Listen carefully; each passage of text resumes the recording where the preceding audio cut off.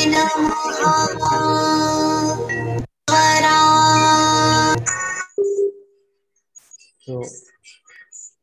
thank you so much for your uh, kind attention. Uh, let us begin our session. Namaste. I, Randhir Kumar Gautam, on behalf of School of Humanities and Social Science, I welcome you it's a great pleasure and indeed an honor to have available with us our distinguished speaker, Professor Lekha Chakraborty from uh, NIPFP, Delhi. We are also joined by Dr. Anima Chowdhury, economist from Hyderabad, Professor S.K. Tanan Saha, and Dr. Firoz Khan. We are also, I would like to extend welcome to our chief patron, Justice Dr. Meena Vigombar, former Chief Justice of Rajasthan High Court, Dr. Goli, President of Rajasthan, and all the respected participants, viewers, listeners. Welcome to this career counseling session on the topic exploring careers in. Uh, let me first give a kind introduction to our honorable speaker. First is Dr. Lekha Chakraborty. She is a professor at NIPFP, National Institute of Public Finance and Policy. She is also affiliated as research associate with the Levy Economics Institute of Bard College, International Institute of Munich. She is a economist in institutionalizing gender budget in India with Chief Economist Advisor, Minister Finance, Government of India in 2004. Her area of interest are microeconomics, financial human development, and gender budgeting. So first, I would like to invite Dr. Lekha Chakraborty, ma'am. Ma'am, over to you.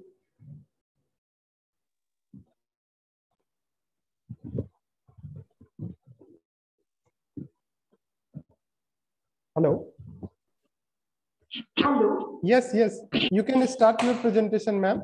You are audible. Okay, I'm online. Yes, yes.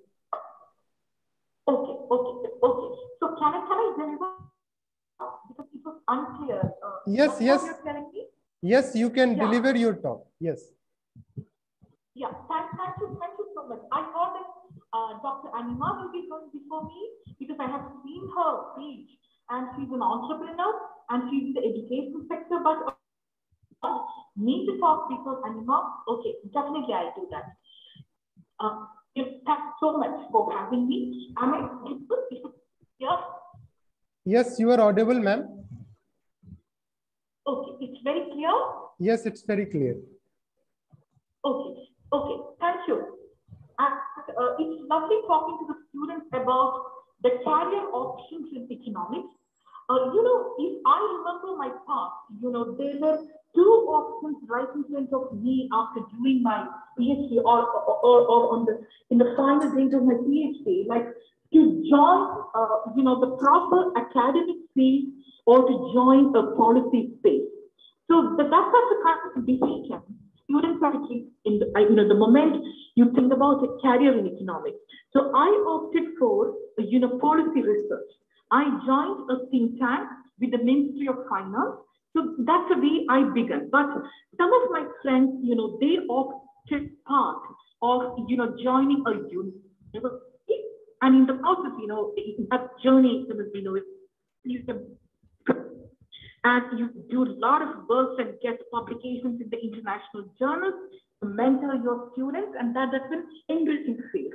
But in the policy space, uh, you know, two options. One is doing the higher studies, you become the doctor or take the doctorate and join an institute or and try to contribute to the policy debate and the policy space in your country. So you're, you can contribute the making process of your country, then you know you can opt for the civil service exam and economic service exam. So there, you know, uh, some of you will take the economic service and get to the North Block, and you can participate in fiscal policy making, that is the public finance policy making, the budget policy making, and you can contribute three like that. So these are brought two options if you are to be within your own country. Now, if you want to, you know, try little ahead, and if you want to fly high, go to other countries, join international organizations, and contribute to the policy space internationally, then you know the options are you can join IMF, World Bank, UN different entities. So there, you know, uh, you have to have ability more than academics. You have to have the ability to work with an international team, and it is you know satisfying experience to make it. So when you work with an international team and when you you proceed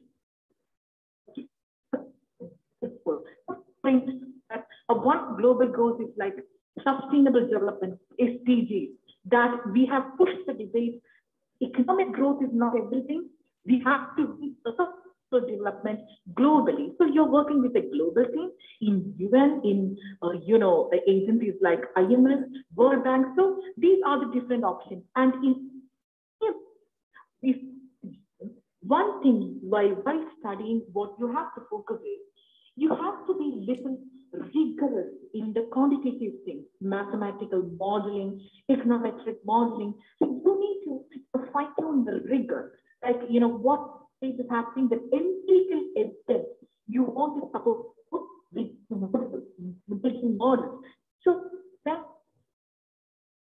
focus is on the quantitative agencies, you know, uh, that is people-centered initiative. Ultimately, you are doing service to the people. So that ability in you to connect to the people, you know, work in the field. So those abilities, those personal abilities of a child, you know, of a student that is equally relevant. And maybe, uh, you know, your professor Renvi has already started a forum in your department or in your institution to have more debates and to form the peer groups so that's the way you can build the confidence among yourself to, you know, to start the process. These were the quick thoughts that came to me. Then now I will listen to Anima and I will talk to you to answering your questions and we can fine tune our thinking. Over to you, Ranveer. Thanks. Okay. Thank you so much, ma'am. Yeah. Uh, thank you so much. You are uh, you, you you have just broadly uh, talked about the almost uh, very significant dimension of the you know, economics career, be it policy and be it academics. So um, now I would like to invite uh, Dr. Anima uh, Chowdhury. So before uh, her talk, let me introduce her. Uh, Dr. Anima Chowdhury, she uh, holds a doctorate degree in financial economics and MPhil in development economics from University of Hyderabad. She is also a certified career counselor she is an entrepreneur uh, recognized under BCPA India and ACCPH UK. She is currently pursuing a master in sustainability and development from University of Michigan. Besides this, uh, she has vast experience in the education field and has been dealing with child nutrition, inequality, and economic growth from the past 15 years. She has been a developmental economist uh, with considerable research interest and publication in nutrition, uh, education system, and child development. So she has a vast experience um, also from the field of psychology and counseling psychology as well. So now I would like to invite uh, Dr. Anima Chowdhury. Yeah, am I audible, Randhir? Yes, yes, mm. ma'am, you are audible. I think I'm visible also. Yes, you are visible. I'm not very used to the Zoom platform, so that's why. Uh, uh, right, thank you so much, uh, Dr. Randhir, for the invitation. And I think it's an absolute honor to be sharing the platform with Professor Lekha. and knowing her beliefs and the body of the work that she has been involved in and somewhere it motivates us and propels us as a female participant of the labor market to view the economy from that perspective also which has been untouched and untapped also. So gender budgeting and all that which we have never talked about that much in detail in the economy because we somehow believe in the trickle down theory. So good evening everyone present here.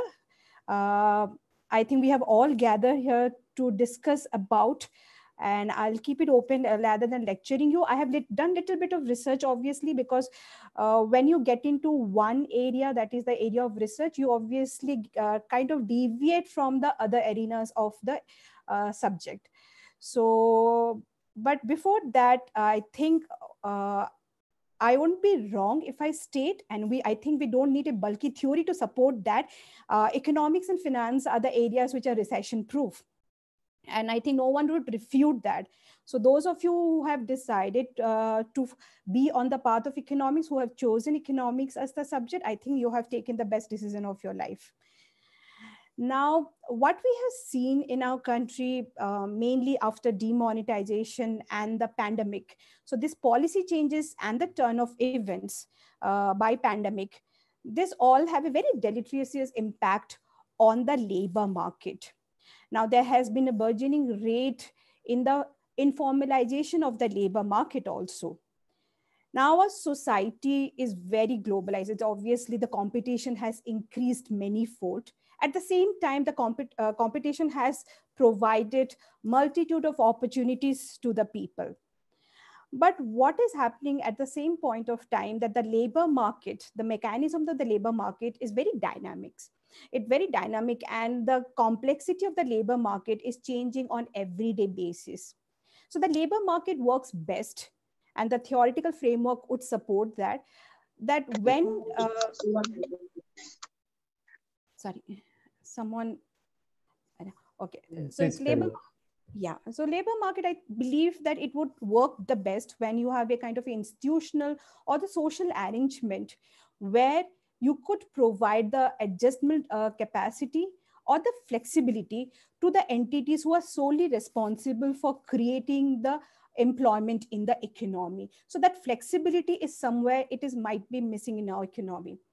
As we compare with the developed countries and uh, with the developing and the emerging countries like ours we would be able to see that uh, it's just not about the stabilization of the labor market as opposed to the developed countries where they're just focusing the policies are revamped and modified every every time to actually create opportunities for the employment. And but when you come to the developing country the policies uh, policies are mainly concentrated to stabilize and to formalize the labor market. So that is one area which the economy is struggling and grappling with. But having said that, we cannot also deny the fact uh, of late there has been an increase, uh, there has been a spike in the career opportunities for those people who are involved in economics, uh, for like economic analysts, economic researchers, or economic consultant. Now, these professionals are mainly expected to understand the dynamics of the labor market, the complexity and the complications of the labor market, and then they would be able to produce the data, produce the interpretation and the results very effectively. Now, there are very several banking, uh, national, international bank, banking sector also who are looking and who are hiring for, uh, who are hiring the economics.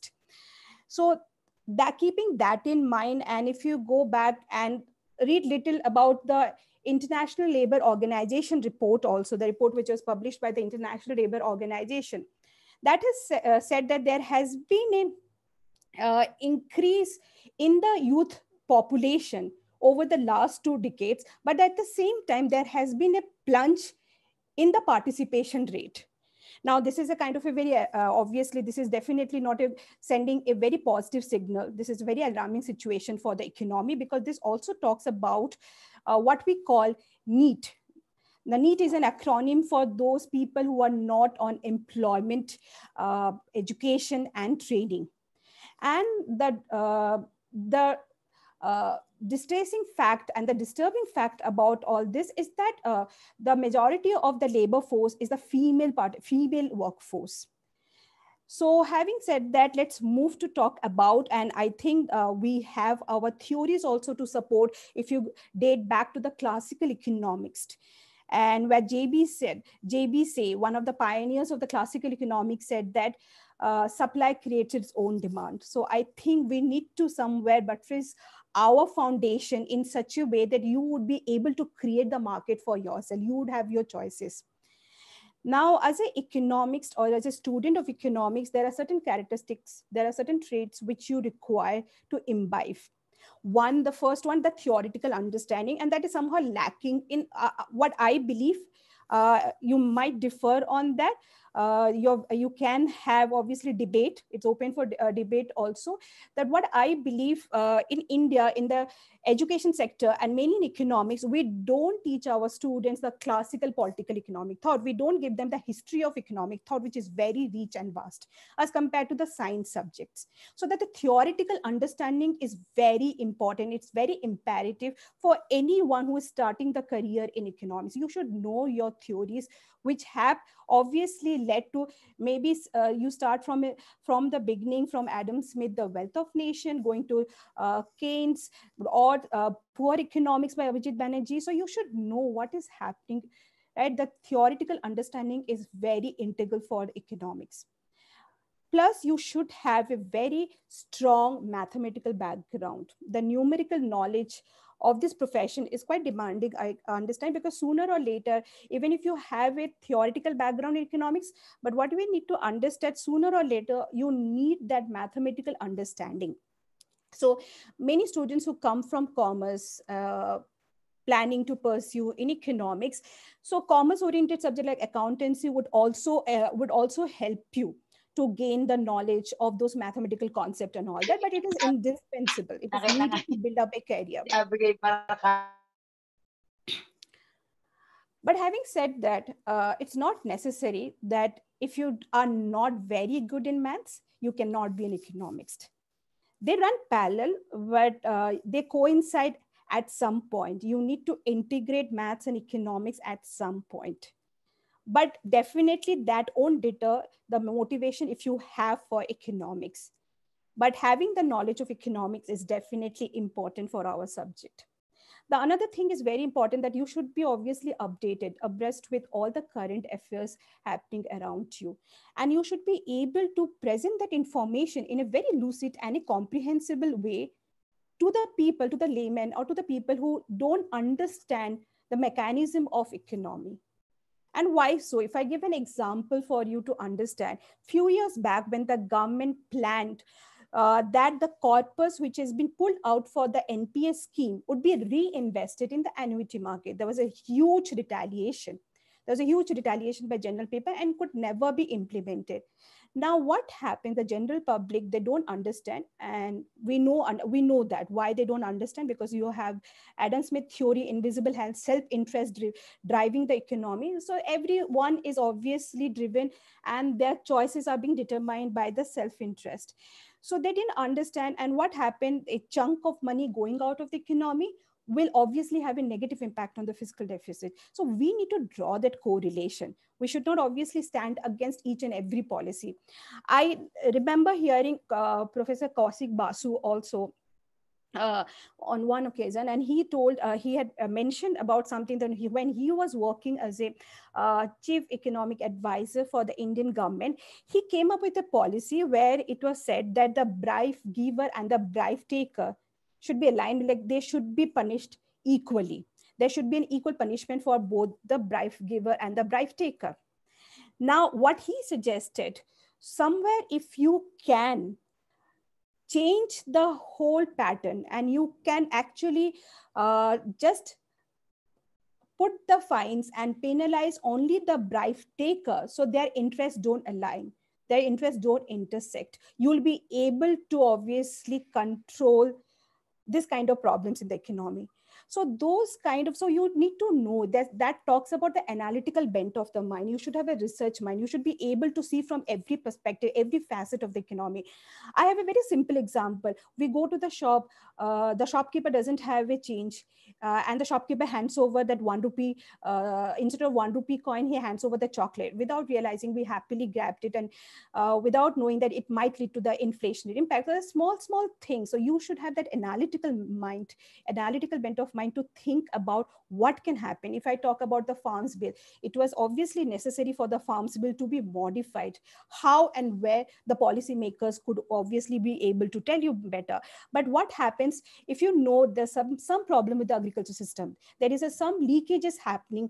Uh, there's some leakages happening when you are talking about the minimum support prices.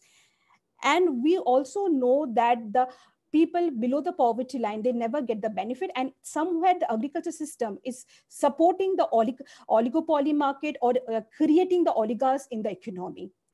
So you should have that kind of mind to understand analyze and evaluate also. So thinking logically also helps right? So these are the some characteristics which you need to have if you are planning to pursue in economics now, coming to the various options, various opportunities, what you can have in economics. First, I'll start with academics.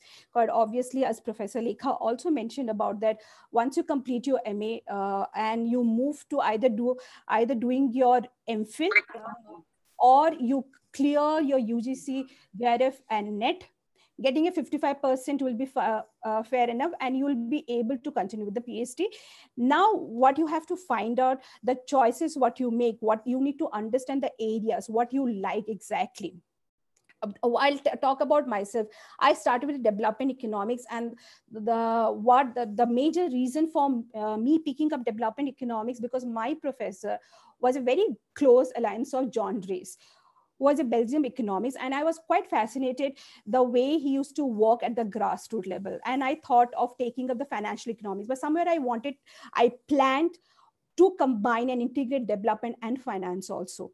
So you need to decide what exactly you want to pursue. And that would obviously again demand a lot of research from your side. And as we say that there are studies which have established a positive correlation between the degree which you hold and the earnings what you have. And that will obviously tell you the income uh, level of the PhD scholars also. Now, apart from the academics, you also have a choice that after your academics, uh, you can go for the Indian Economic Services, which are mainly conducted by uh, UPSC. Now you should fall in the category, the age group should be 21 to 30. Beyond that, so if you're planning, so you should plan within that 30 years. So that age group is, that bracket is 21 to 30. And these people obviously belong to A category then you can and having cleared that as you have seen professor lekha also working you obviously get to work with all the think tanks of the government sector nationally internationally. Niti aayog uh, the substitute for the planning commission national uh, sample survey organization and all that apart from the academics you also have an option of working with a lot of banking sectors also. Now you have reserve bank of india. Now reserve bank of india they do hire economics uh, through their own recruiting process. They have their own exam pattern but the age group the bracket is 21 to 28 Again, if you're planning, keep in mind that if you're planning to get into, get through the recruiting exam of Central Bank of India, you should have that age group. You should keep in mind the age group of 21 to 28 or else you also have an option of working in the uh, National Council of the Applied Economic Research, Indian Council of Social uh, Science Research, or Institute of Economic Growth also. Now, economic graduates either you pursue uh, either you pursue uh, your higher education in economics or you plan to continue with the banking services but you also have an option of working independently and that's what we do. That's what i have been doing right? You have an option of working independently as an economic consultant and there is no age bar for that. But yes there are private sectors there are private entities in the market which do offer jobs for the consultant uh, consultancy jobs and all that right? Then you have the option of becoming an economist. The role of the economist is very simple. Collect the data, study, analyze the data so that you could provide a very specialized economic advice to the policymakers again, if you know about Abhijit Banerjee's work over the decades, what he has done, suppose, for example, I need to suggest the government that the mosquito net, provision of the mosquito net can take care of the health of those people below the poverty line or from the marginalized sections of the society, I should have a very concrete and the solid data to support my study. Right? So you collect the data, study, analyze the data, and that's why you will be able to get involved in the policy making. So as in economics the major role what you have to do you have to carry out research collect large amount of the data which could cover every aspect of the social policy ranging from interest rate taxation foreign exchange market health transportations and all that for example suppose for example i uh, again i uh, can give you an example. Suppose we keep talking about the climate change. We have recently been focusing and emphasizing on climate change. Now what happened uh, the climate the green factors we have never considered the green factors. We have never factored in those green factors in the calculation of a national income. Now we know about the self development goals whether uh, World Bank. We know the self development goal. The first one itself tells you the elimination of the poverty. Or if you go to uh, look into the self development goal number eight, which talks about uh, the inclusive growth, sustainable development, and provision of the decent workforce. Or self development goal 10, inequality. And if you put all this together, there is a high positive correlation. And somehow we have obviously not been able to focus on that. So that is the work of the economist. You need to integrate each and every aspect of the economy and you need to understand. It just not trickle down theory. You should not assume that if i take care of one variable it will go down to the grassroots variable. You need to have a focus on all the other variables in the economy also. So you need to analyze your information and now you have a lot of packages uh, you have the statistical packages. We started obviously with the simplest package spss now you have r and um, EViews stata and all that right? So you need to use those statistical packages and the advanced methods in the statistical field so that you could do the forecasting you could do the statistical estimation. And that's quite important. Looking at the data looking at the pattern and the history of the data you should be able to predict the future right? It's a kind of a role of a priest. Economics uh, uh, act like a priest in the system, in the, the foundation, the structure of the country, right? That is our role. We should be able to predict. We should be able to anticipate. It cannot be completely right, but we know there is a fair degree of the probability of this event occurring in the future. Now, these findings are mainly used by various organizations, uh, mainly by the government organizations, uh, local government, central government, consultancy, major companies, banks, financial institutions, and all that, right? So the, there is also a role and a scope for the people who are involved in the economics. Now, if you need to become an economist, uh, you have need to have a two is to one, what we call. So you need to have a degree in economics. So what these people, uh, those organizations who are looking to hire economics, they mainly look uh, for those graduates who have a major in economics, mainly the uh, the core modules should be in economics, but it could be supported uh, by finance, law, management studies, mathematics, modern languages, politics, international economics also. So that two is to one, or you can go ahead with the simple economics honors also backed by mathematics and statistics, right? So make sure that if you are going ahead with a joint degree, the maximum portion of your course should be in the economics modules only, right? Many uh, organizations they prefer to have a postgraduate degree or they also hire the phd scholars also for as an economist. You can have a postgraduate degree uh, you can have any like you can have a graduation in any other degree but you should have a post graduation in economics so that is another very important factor which you need to understand Another very lucrative area which is coming up, which is definitely not, uh, has not grown that much, which has not matured that much in India, the actuarial analyst. Uh, now, as a uh, career in the actuarial analyst will suit you if you have a very strong mathematical ability right so you should be good at problem solving, and you should enjoy the analysis of the data. And that's the beauty of the data, how to handle the data, right? What the data speak. It is our role as an economist, it is our role to make them speak, right? So you should be good. So if you have the caliber and you should be good uh, with the ITs, information and technology also. You should be good with all the spreadsheets. You should be good with all the calculation part. So mathematics again plays a very important role. Apart from economics, what say the uh, actuarial analyst, first you need to have economics obviously, but apart from economics, uh, organizations, uh, institution, they they also hire people who have a degree in the business studies, but it should be a numerate options. And you can have a degree in the business studies but your model should be a mathematical based business studies. Apart from that you can have engineering physics statistics anything so actuarial analysis should be able to, you should have a strong ability in maths the capacity to analyze and solve the data problems and the ability to carry out the statistical analysis such as scanning cleansing of the data right interpreting the trends predicting the future, right? So that should be the role of the actuarial analyst. Then you have the role of the data analyst.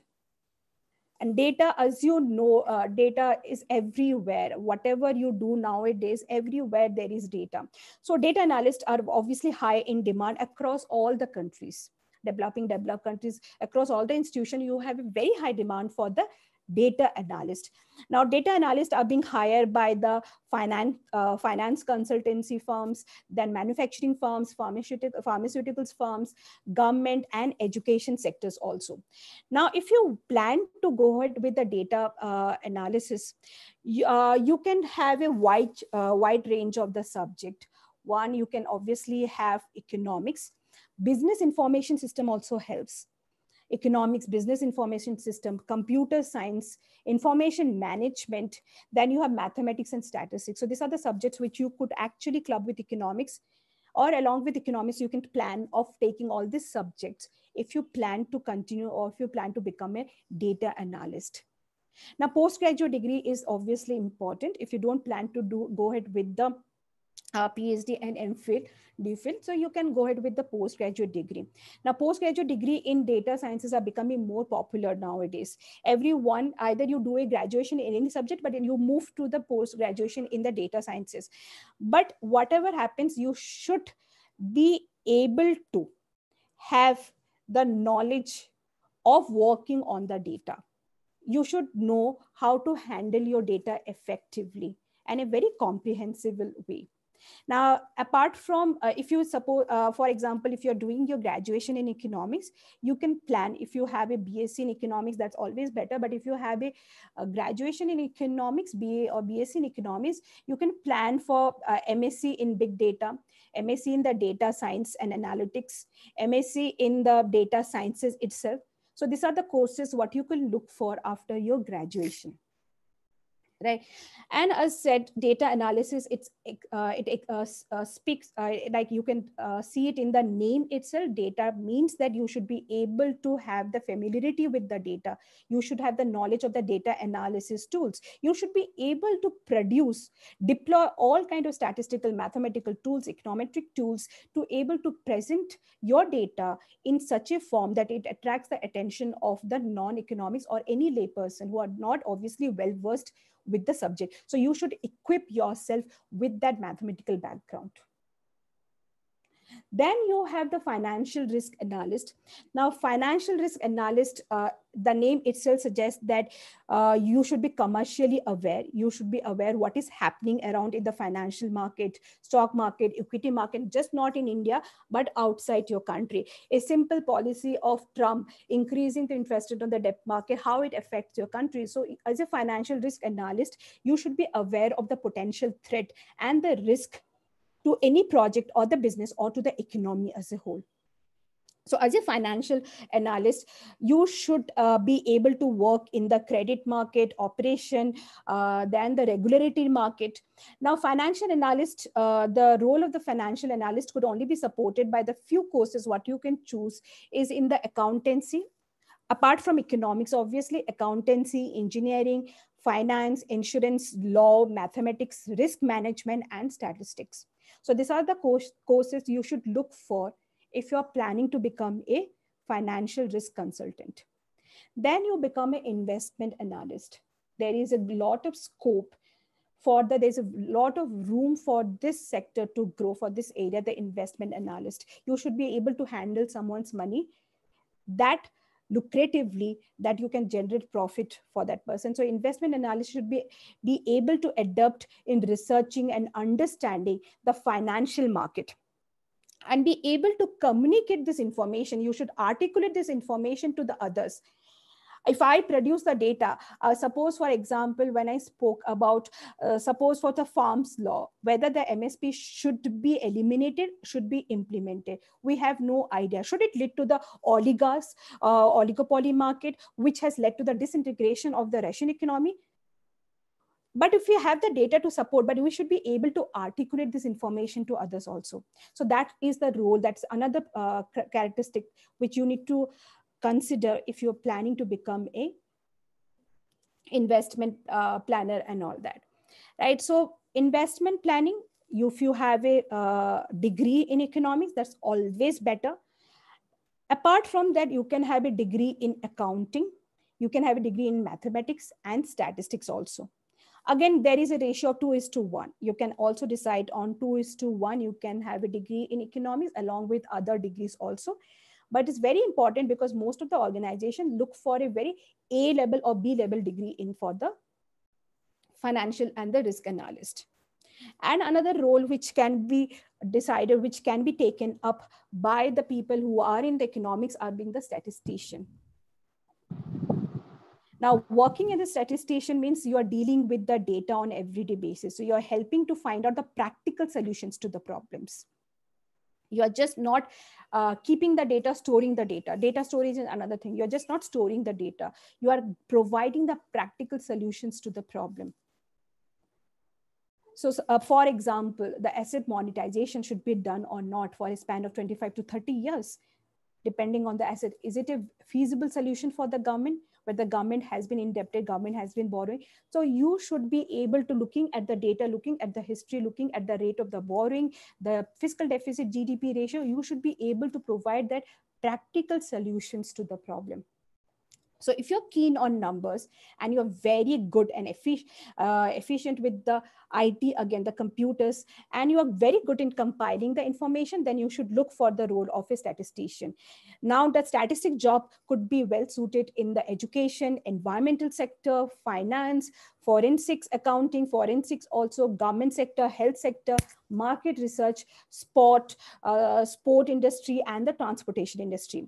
Apart from economics, again, you can have a, uh, you can think of a course in mathematics, statistics, or geography. These are the areas where you can think of having a degree. Again, if you are going for geography, uh, plan to club this together right so that will increase the probability of getting into the labor market now again for the statistician you should have a very numerical bent of mind numerical ability and the computer literacy are the important parameters then you should have a clear understanding of the statistical uh, methods terms and the concept that statistical methodology the research methodologies. You should be very well versed. You should be equipped with all those necessary terms or necessary understanding of the terms and the concept and the analytical skills written and the oral communication. These are obviously important and these are pertinent to any industry uh, pertinent to any sector what you talk about.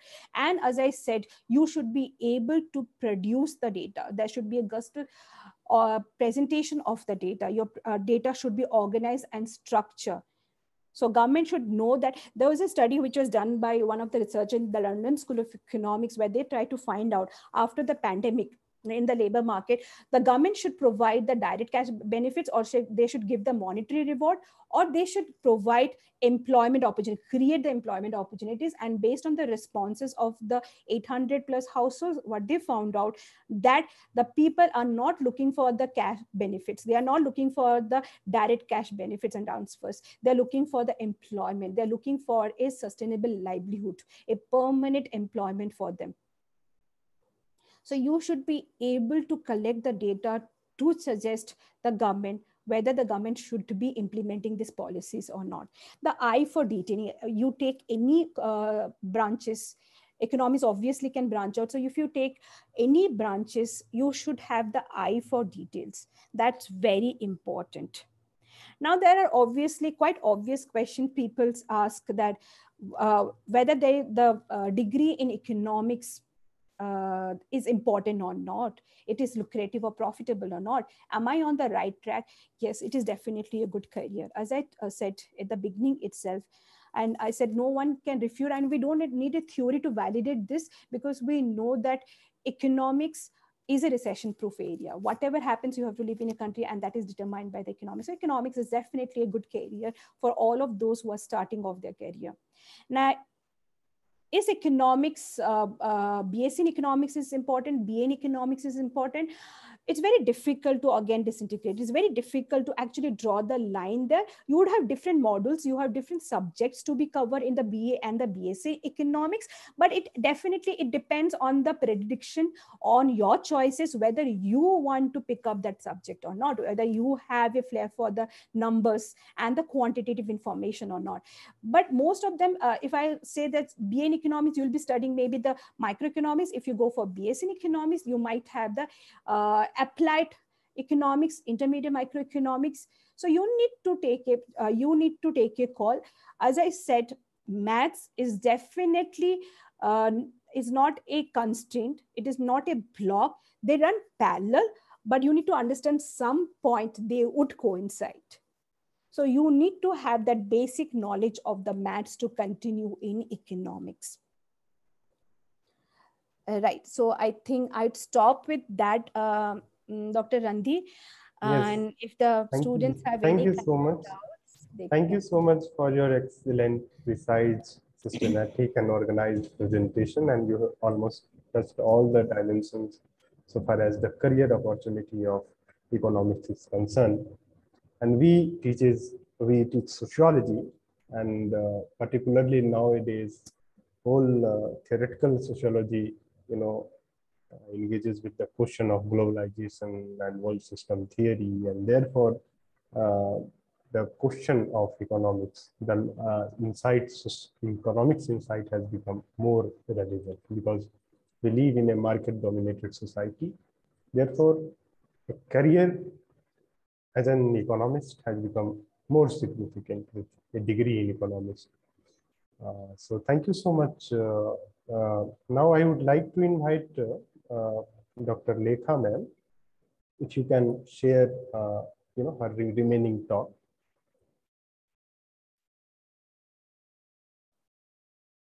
Ma'am, are you there?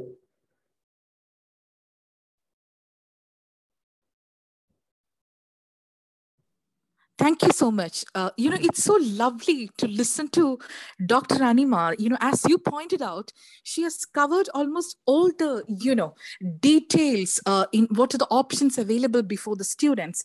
And of course, your emphasis on sociology. That reminds me something which is, uh, you know, the multidisciplinary uh, approach of the students you know that is a secret of success because it is not like we have to be just economists without giving emphasis to the other kinds of humanities you know like the way you pointed out sociology or psychology because there are different fields in which behavioral economics. So it's like opting from other subjects as well. So your emphasis equally economics and other you know subjects that is very crucial. And it is of course a journey from you know theory to the data and your empirics and then policy making so that's a journey dr Renveer was trying to you know project. And in this beautiful journey students themselves will identify where, where they fit in. Uh, you know sometimes you know a student may think okay it's a lot of mathematics it's a lot of analysis. No this is not my inner call. That's fine those students will find themselves comfortable in some other other space. So you need not be intimidated if models you know i'm not comfortable with models. I'm not comfortable with the rigor of mathematics. That is fine. Even econometrics that's an art more than max that's what i feel when i run the models. Because when you get the art of it you will be able to you know come with solutions. So don't get intimidated by max or econometric models at all. After a point of time you know you will be very very comfortable it's a, it's an initial uh, thing you know you may be feeling that this is not my call and now adding to uh, Dr. Anima because she has done excellent uh, talk. Just I want to add the economic journalism to it. You know, the content creation by the students. Uh, you know, we will be uh, able to understand that when we write an uh, international journal paper, the content is we use alpha, beta, gamma, like that's a language we will be using. But the moment you are writing a column uh, in a paper, like thousand words, if uh, suppose Dr. Renveer is asking a student, can you prepare a note on this contemporary topic to me? So that, you know, immediately, and he may be get, giving you a time that within five hours or three hours you need to report to me. So that ability to quickly analyze and to write a piece overnight that is very crucial. So this can come to you only if you are you know continuously updating yourself uh, with the what is happening around you. So as students you must be reading you know already dr Renveer has spoken to you or guiding you on this you must be regularly reading the editorials coming in the business standard in the financial express uh, you know in mint uh, in economic times. So you should be continuously reading the editorials. Then you will get a flair that what is the content creation, in what way you have to express. Because international journals require one particular language policy making requires another particular language. That is the way uh, you know dr anima was talking like from the methodology from the data.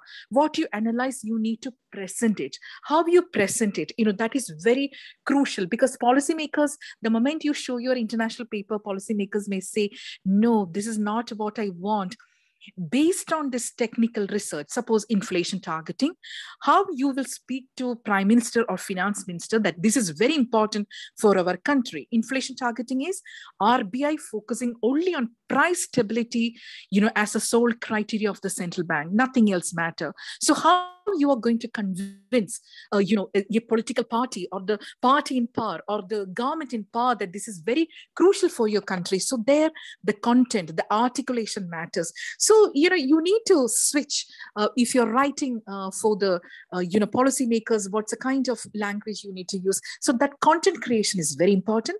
Then third, you know, my final point is on the methodological awareness. As Dr. Anima pointed out, there could be quantitative methodology and there could be qualitative methodology. Some students will be super comfortable with the quantitative rigor, analysis, you know, all those things. But some students may think, no, this is not my inner call. My inner call is qualitative methodology. That's fine because there are many international organizations and national organizations which they do believe in qualitative methodology. For instance, you know, if you join an international, uh, you know, civil society organization or, you know, the, the, the uh, fields or the organizations which work at the grassroots level or even the uh, MIT lab. You must be knowing the Poverty Action Lab, you know, the Nobel laureates, uh, as uh, Dr. Rarima pointed out, our Abhijit Banerjee, then Duflo, uh, you know, Geeta Gopinath's husband, uh, his name is Iqbal. So they are the part of MIT Action Lab. So what exactly they're doing? Qualitative research means, you know, perspective of poor by poor. How do you understand that? That is not by running models. That is by you're talking to the people on the ground. So you go talk to the people and understand the perspective of poor by poor. So that compelling stories you record and come back and report, that stories may be worth running 100 million or regressions or the model. So those stories are equally important. So maybe in your mind, you need to give emphasis on the qualitative methodology and quantitative. So maybe you can call it as a Q square approach uh, to study economics. So in this journey of from the theory that understanding to the data and creating empirics. And from the inferences, you go to the policy making. In that journey, methodology is very important. And whichever methodology you are comfortable, stick on to that. You don't have to worry about because aptitude matters. What is your inner call? You find out, and you find you will find a space in this world. So don't worry at all if models doesn't come. Or some people, you know, mathematics they enjoy like anything. They don't understand. Okay, I have to go to the field and collect and how I put, a, put forward a story.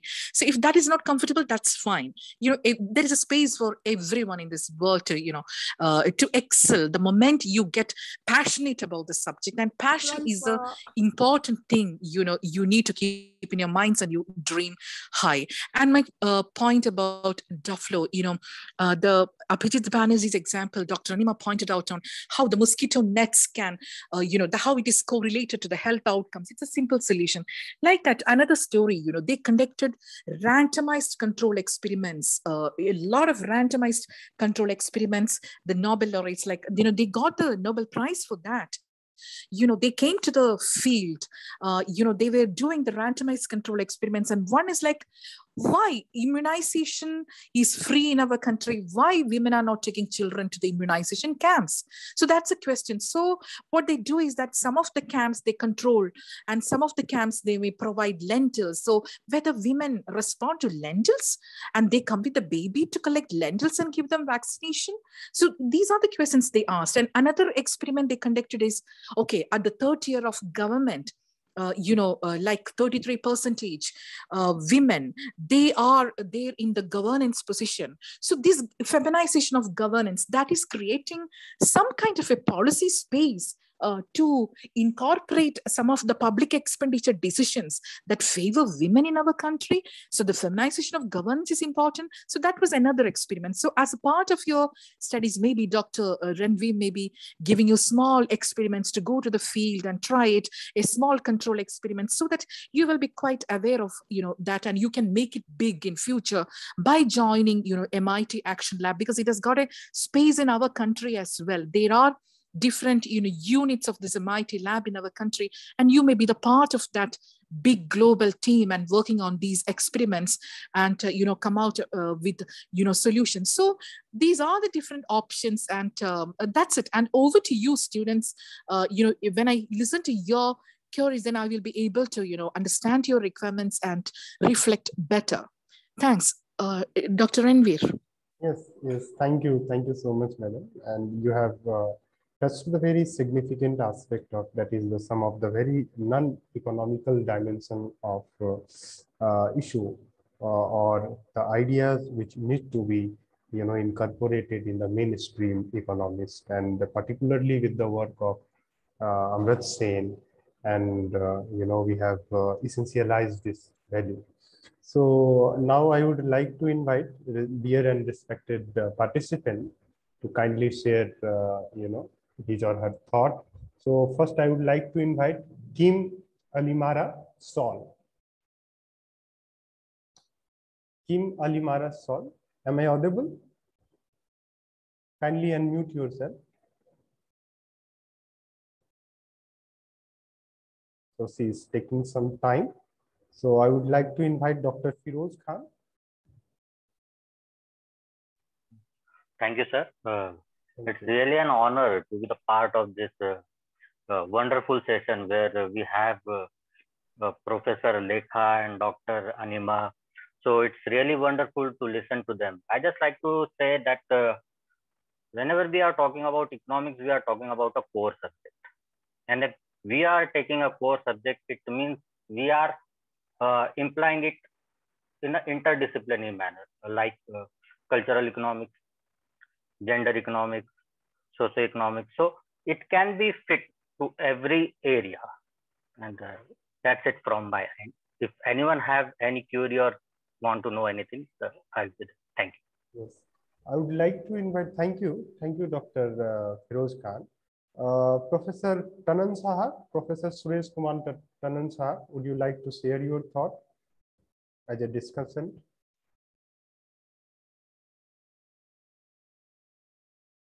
Please unmute yourself, sir. Professor S.K. Tanan, sir. So he's taking some time. Uh, so dear students, any others?